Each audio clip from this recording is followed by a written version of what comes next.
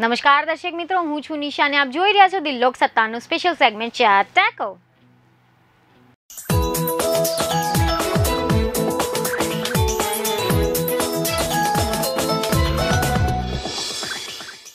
તો દર્શક મિત્રો, તમે કચોરી તો ખાધી જ હશે, જેમ કે લીલવા કચોરી, મગની દાળની કચોરી પ્યાઝ કચોરી વગેરે વગેરે. પરંતુ તમે ક્યારે પીઝા કચોરી ખાધી છે?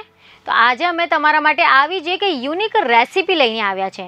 સામાન્ય રીતે પીઝા તો બધા બહુ લોકોને ભાવતા જ હોય છે તેથી પીઝાની અવનવી વાનગીઓ બનાવીને આપીએ, તો બધા ખૂબ જ ખુશ થઈ જશે. અને આ વાનગી ફક્ત ખાવામાં જ સ્વાદિષ્ટ નહીં બને, પરંતુ તમે કોઈ પણ તહેવારમાં તેને તમારા ઘરે બનાવી શકો છો. અને આ કોરોનાના સમયમાં આપણે બહાર તો કશું ખાવા જઈ નથી શકતા. તેથી દરેક વ્યક્તિ ઘરે જ કંઈક ને કંઈક અલગ અને સ્વાદિષ્ટ ખાવાની ઈચ્છા રાખે છે. ત્યારે આવી સ્થિતિમાં આજે અમે તમને ઘરે જ પીઝા કચોરી બનાવવાની રેસીપી જણાવીશું. તો ચાલો તેની માટે પહેલાં સામગ્રી નોંધી લો.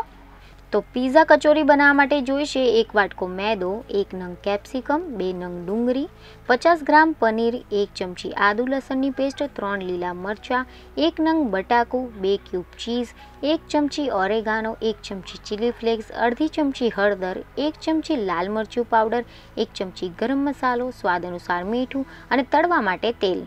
સૌપ્રથમ મેદાના લોટમાં મીઠું, તેલ અને જરૂર મુજબ પાણી નાખીને લોટ બાંધો.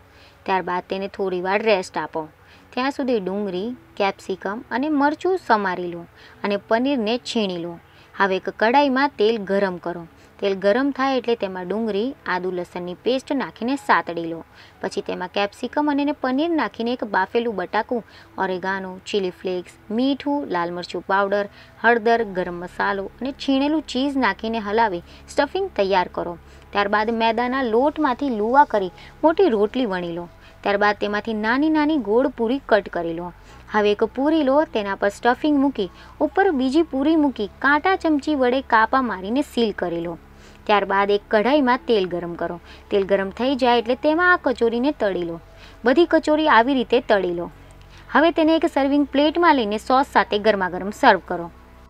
તો તૈયાર છે આપણી પીઝા કચોરી. તો જ્યારે પણ કંઈક અલગ ખાવાનું મન હોય તો આ પીઝા કચોરીને જરૂરથી બનાવજો.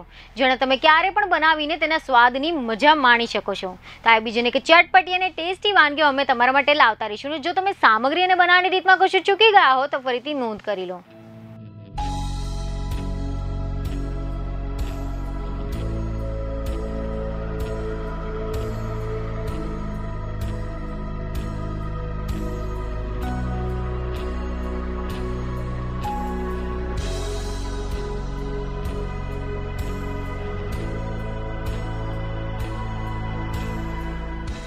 તમે અમારા આ વિડીયોને જો યુટ્યુબ પર જોઈ રહ્યા હોવ, તો તરત જ અમારી યુટ્યુબ ચેનલને સબસ્ક્રાઇબ કરો અને નવા વિડીયોના અપડેશન માટે બેલ આઇકન દબાવવાનું ભૂલશો નહીં. જો તમે અમારો આ વીડિયો ફેસબુક પર જોઈ રહ્યા હોવ, તો અમારા ફેસબુક પેજને જરૂર લાઇક કરો. વધુ અપડેટ માટે લોકસત્તાની વેબસાઇટને વિઝિટ કરવાનું ભૂલશો નહીં.